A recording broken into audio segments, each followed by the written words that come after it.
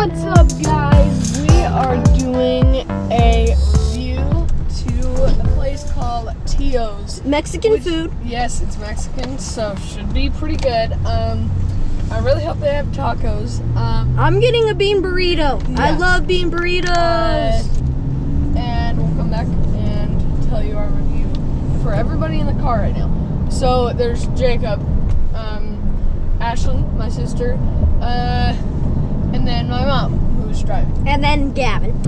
So, it's going to take us seven minutes to get there.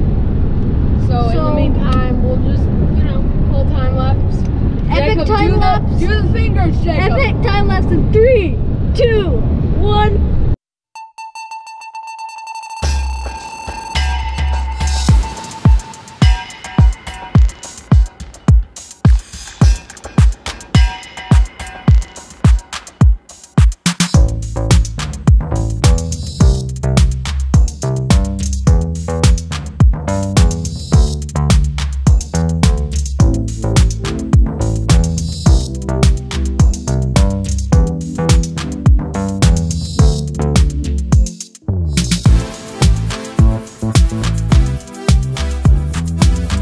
Okay, so we are pulling up to Tio's. Tio's. We're so excited. Um, Well, we'll give you a rating when we come back. yeah. See you Later. a little bit. I don't know how long. You'll see right now. Okay, so uh, we are at Tio's right now. We have our drinks. We have our drinks right here. Uh, we're with our our friends, and um, we are uh, waiting for our food. So uh, we'll, we'll check back in. Uh, we, only have chips right now, but uh, we will check in when we have our food.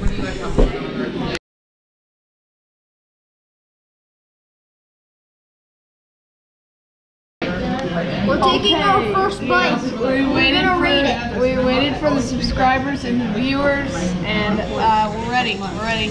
And this is not our final rating, just warning. So we're gonna just rate this part. Get your name and address out of there, and it wouldn't have changed the back. I give that a four and a half stars. Had your. Look at this.